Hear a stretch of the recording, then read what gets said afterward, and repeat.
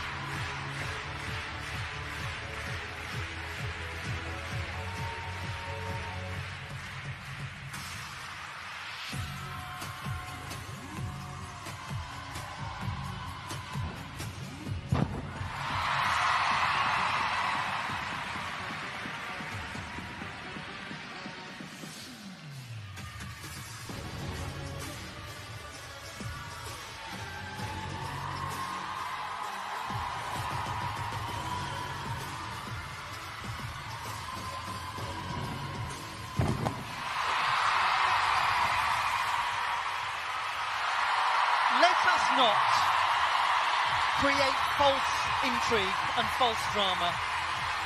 Let us not disrespect Simone Biles by pretending that